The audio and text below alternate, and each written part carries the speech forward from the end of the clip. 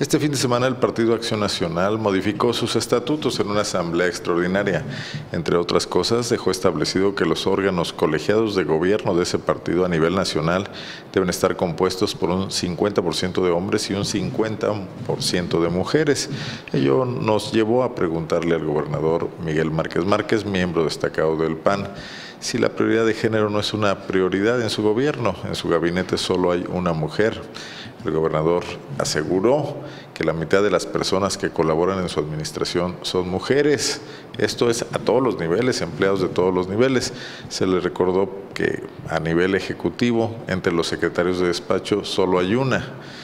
Y sin embargo, Miguel Márquez Márquez respondió que pues eso él no lo prometió, que tiene, tiene muy claro que admitirá a las mujeres por su capacidad, pero no necesariamente por medio de cuotas.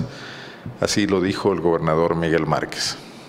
Pues eh, yo quiero decirles que tenemos más del 50% de mujeres trabajando en gobierno del Estado. ¿Y en su gabinete? Tenemos, en el gabinete también hay mujeres, ¿sí? yo nunca hice un compromiso de paridad, ¿sí? no hay una ley que así me lo exija, lo que sí es importante es que le damos el lugar a, sus mujeres, a las mujeres por su capacidad.